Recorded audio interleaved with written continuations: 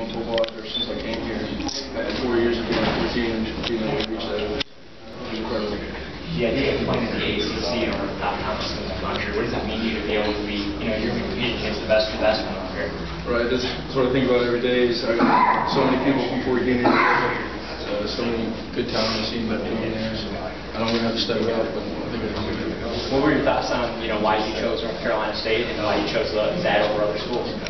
Um, when I went to North Carolina State, met with the coaches and met with the players, seemed like really good people, and uh, the community around NC State was real good people also.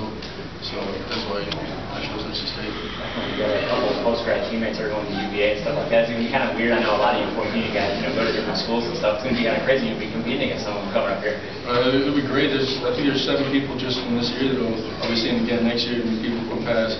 That's going to be cool. Uh, to be able to compete against old teammates. Definitely, yeah. Your time here at FUMA, how has it prepared you for the next level? Uh,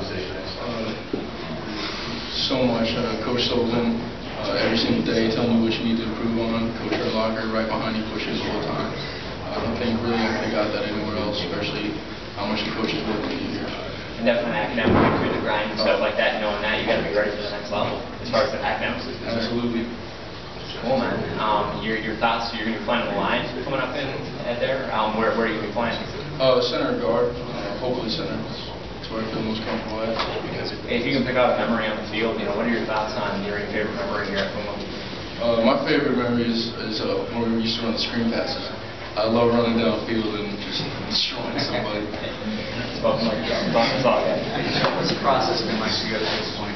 Uh, it's been it's been tough. Uh, every single day, wake up six. You know, it's good. Go through the whole process, and uh, once you get to practice, there's no slowing down after the academics. So, getting that uh, hardcore stuff every day, I think when I get to college, I'll have a little bit of edge up on people. How excited are you get, for you to get down there and start hitting people? Uh, as soon as I get there, uh, I think people will be surprised that I come out that hard.